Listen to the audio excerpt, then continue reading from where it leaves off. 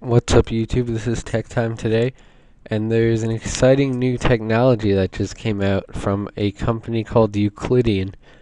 Uh, they claim that they made an engine that can replicate images up to a million times more realistic than compared to current game engines. So this is potentially a revolutionary technology.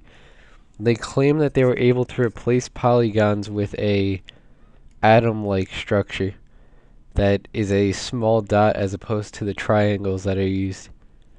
So, supposedly they can run extremely realistic looking games on even today's hardware.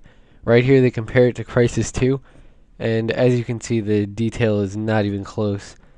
It's the new engine is by far better looking than Crysis 2's ground. They say that uh, one square meter of dirt has more detail than any game ever created, so this stuff is pretty big.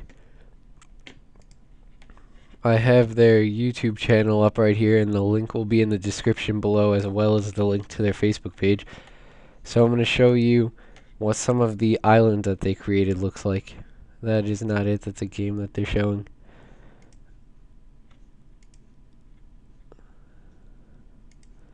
Try and find it.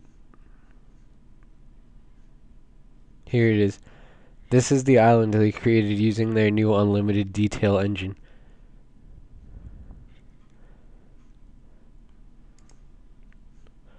Honestly, it's probably the best looking stuff I've ever seen that's run in real time.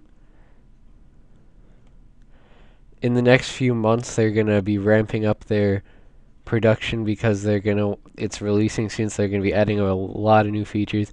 And they're gonna be posting tons of videos on their YouTube channel to show off those new features. So definitely check back to uh, see what this exciting new technology is. So thanks for watching and don't forget to subscribe